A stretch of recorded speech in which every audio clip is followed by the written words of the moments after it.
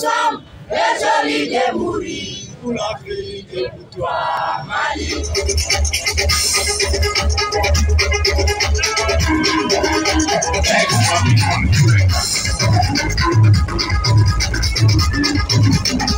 Oh jeunesse, c'est l'heure de l'Afrique. C'est l'heure de l'Afrique. Quelle belle espérance. Notre Père Konaté dans la dignité, nous suivrons ta voie, nous voulons ta foi.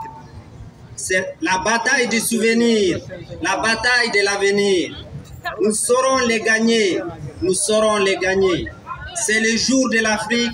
Oh jeunesse, c'est l'ère de l'Afrique. Quelle belle espérance.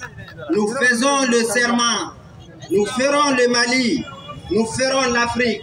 Nous ferons l'Afrique, même s'il faut notre sang. Nous irons de l'avant, même s'il faut notre sang. Nous irons en courant.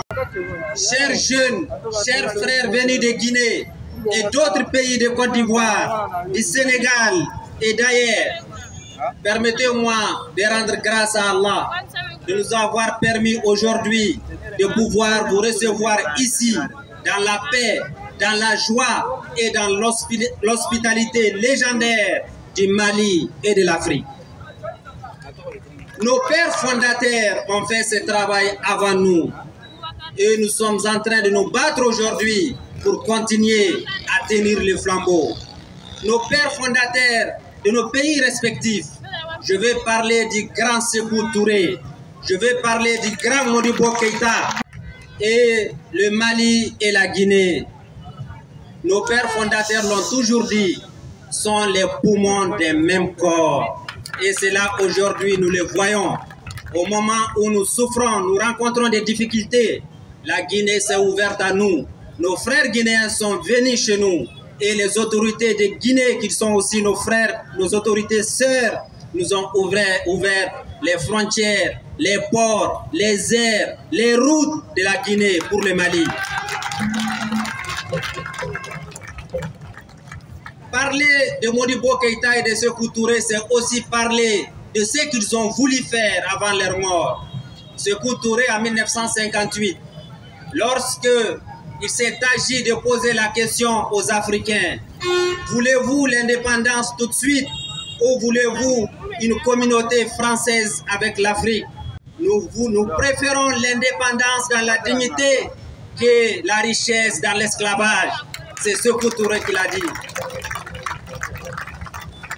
Et Modibo Keïta, dans la même veine, a tout fait jusqu'à la fin de ses jours pour unir l'Afrique, pour créer la fédération du Mali avec la Guinée, avec le Sénégal, avec tous les pays frontaliers. Il s'est battu pour cela. Ça n'a pas eu lieu parce qu'il y avait également des adversités qui l'ont empêché. Mais la vie est un combat et le combat continue. La lutte continue et l'émancipation, ce n'est qu'un combat de tous les jours. Sekou Touré et Modibo Keïta ont laissé des dignes héritiers. En Guinée, Mamadou Doumbia se bat pour relever les défis et continuer le combat de Sekou Touré. À Bamako, au Mali, le colonel Assimi Goïta continue à se battre pour continuer la relève de Modibo Keïta. Et je tiens à vous rassurer que votre démarche cadre parfaitement avec la vision du président de la transition chef de l'État, le colonel Assimi Goïta. Lorsqu'il a prêté serment, le lendemain, il a reçu les jeunes du Mali et il leur a dit ceci. Je voulais que vous soyez au courant.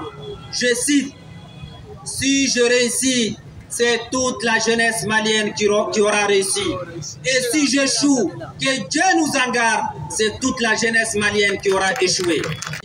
Inscrit la jeunesse au cœur de ses priorités, pour ne pas dire que c'est sa priorité de priorité. Enfin, enfin m'adressant à vous, chers jeunes, m'adressant à vous, chers jeunes panafricains, mais m'adressant également à vous, chers jeunes maliens, qui avec la légendaire hospitalité malienne, vous avez accompagné vos frères depuis la frontière jusqu'à Bamako. Je voudrais vous adresser mes vifs remerciements et mes chaleureuses félicitations. Vous avez honoré le peuple malien en montrant à vos frères que partout où ils seront sur le territoire malien, ils auront des mères, des pères, des sœurs et des frères qui vont les accompagner jusqu'ici.